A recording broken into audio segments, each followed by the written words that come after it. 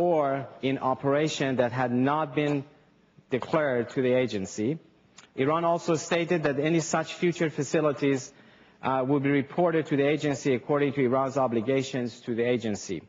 In a letter dated 6 November 2009, the agency asked Iran to confirm that it had not taken a decision to construct or to authorize construction of any other nuclear facility which had not been declared to the agency.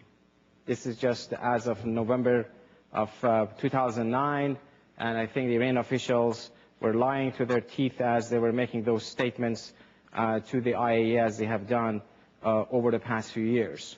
Well, the, uh, Mr. Absami mentioned the source of the information. Um, as it has been the case, uh, uh, at least since 2002, that all of the major nuclear sites of Iran that the IAEA is now inspecting uh, have been pretty much exposed by the same source, the, the PMI network inside uh, Iran, among others. Now, the, um, the Behjatabad Abyek underground enrichment site uh, as you can see, the location of the uh, site on the map um, near Tehran, between on the way to Tehran to Qazvin. And um, this is a, a close-up map of that. Um, on the right side, you have Tehran, and then you have the direction to uh, Abyek. And um, then from there, they turn to get to that location. Now, this is a satellite imagery um, that uh, dates back to, uh, to, late 2004. And uh, you can see here the different locations um, on the site.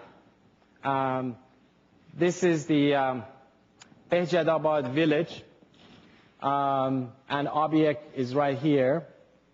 And Behjatabad village is here. And as you can see, uh, this location here shows no activity whatsoever. And uh, there are several villages, uh, Tudaran village here, Ziaran, uh, Javad Nia Garrison, and I will elaborate on Javad Nia Garrison, uh, Jasmine village, uh, Tazabad village, and the Al Mahdi uh, garrison.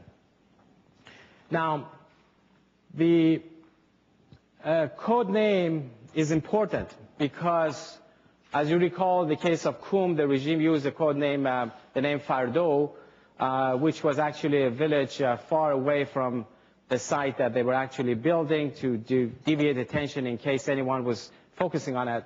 And the code name they're using is to uh, conceal it from anyone, even from the people within the Iranian regime.